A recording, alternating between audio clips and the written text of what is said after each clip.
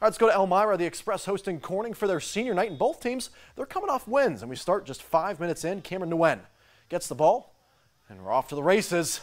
He shoots and scores. Gorgeous top shelf shot. Corning grabs the lead early, 1 0. Now let's move along.